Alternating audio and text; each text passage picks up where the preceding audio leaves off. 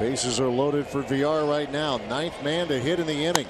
And he will send one back into left field. Back goes Schebler, and it's off the wall. It'll score a couple.